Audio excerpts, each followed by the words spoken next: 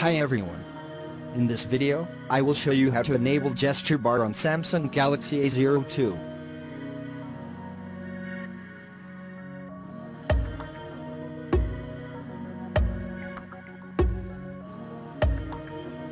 As you can see, there it's not swipe bar, only buttons. I don't know if all Samsung Galaxy A02 have no gesture bar, but my phone hasn't. So I will show you how to enable gesture bar.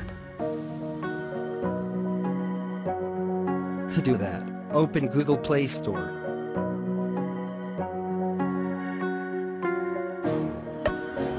Search for Shortcut Maker, and then install this app.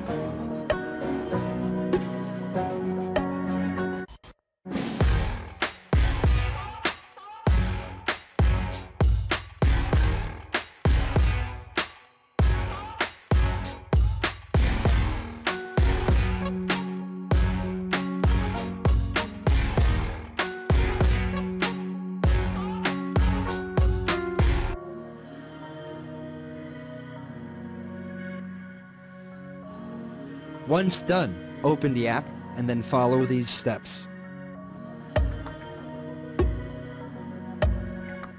Go to Activities.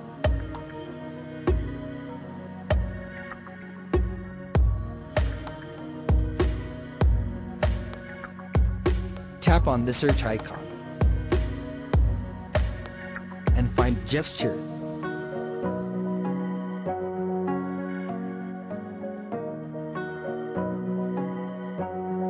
Now select Swipe Gestures. Tap on Create Shortcut. And add on the home screen.